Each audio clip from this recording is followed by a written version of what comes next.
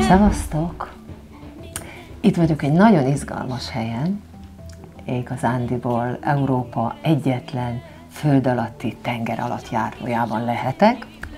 Gondolom érzitek az atmoszférát, megidézi Verne Gyula képzeletvilágát. Tartsatok velem, mert most kipróbáljuk, hogy milyen finom falatokat szolgál fel nekünk a személyzet itt a fedélzeten.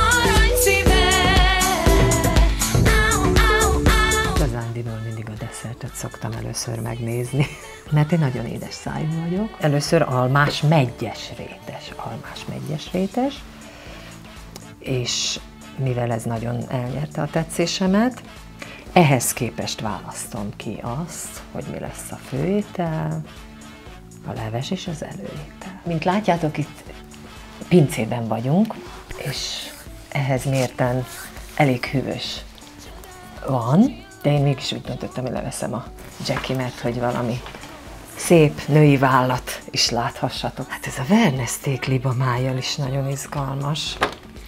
És tulajdonképpen, hogyha a Verne étteremben vagyunk, akkor igazándiból illene kipróbálni egy Verne ételt, nem?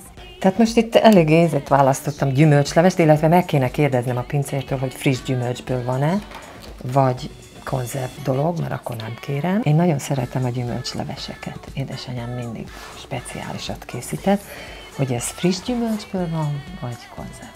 Ez friss. Jó, akkor kezdünk egy finom gyümölcslevessel. Muszáj vagyok egy vernesztéket libamájjal kipróbálni.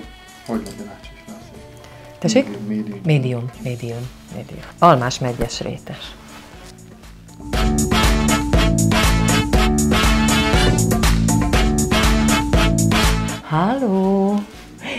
Van benne vonal! Az ő csókja íze olyan Elképzelhetetlen, hogy ilyenben hogy tudták túlélni. lépteinek nyomán. Köszönöm. Már a látvány meg, meggyőzött engem. Olyan csodás a tálalás, nagyon ki van találva a citrom héja ide van reszelve a jég ágyban. Mm. Mm. Tényleg nagyon finom. A megrendelésnél említettem a, a pincér srácnak, hogy az anyukám el, elkényeztetett engem gyümölcslevesekkel, és ez, ez nagyon emlékeztet azokra az ízekre. A fahéjnak az aránya, hogy milyen, milyen mennyiségben van benne fahéj, mert ez el lehet túlozni, és itt nem itt pont annyi, amennyinek lennie kell. Pincér azt mondta, hogy ez mind erdei gyümölcs, de itt van benne alma, narancs, tehát ez egy teljesen vegyes gyümölcsleves, és az erdei gyümölcs által van sűrűsége.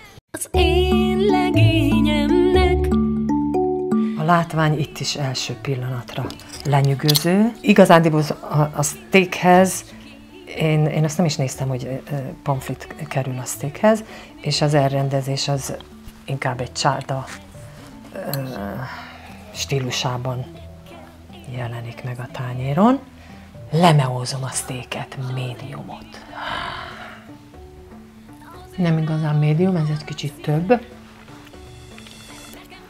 Én jobban szeretem, ha egy picit még puhább. De az íze nagyon finom. És a máj.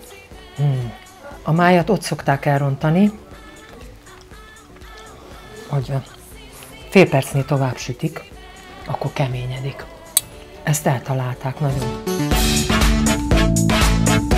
Művészet a tányéron. Ma egész este a szememmel leszem. Persze csak úgy körülbelül, mert nagyon ne jut ez ide a megfelelő helyre. mit gyémán. Ebben sem csalódtam. A rétes tészta isteni.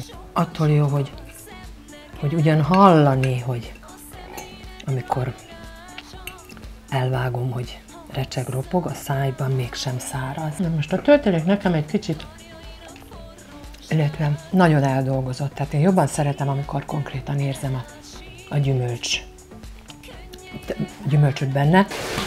Akkor eljutottunk az értékeléshez, és a ma estének a következménye az, hogy valószínű holnap folyadéknapot tartok, tehát semmi mást nem viszek be drága testembe, mint folyadékot, mert ma nagyon jól laktam, nagyon ízleteset ettem. A gyümölcslevesre adnék azért, mert eszembe juttatta az édesanyám főztjét, öt fehér szakszofont és plusz egy csillagot. Maga a steak is megérdemelne egy ötöst, de a, a körettel nem voltam annyira egyensúlyban, ezért a steakre csak négyet adok. Négy fehér szakszofon, és az édességre megint öt fehér szakszofon, úgyhogy az összességében mennyi is? A matekomról soha nem voltam híres. 14. 14 fehér szakszofont érdemel meg a Verne étterem, és azt, hogy teljes szívvel ajánljam másnak is. Örülök, hogy végignéztétek a falatozásomat, várlak benneteket a következő vlogomnál is.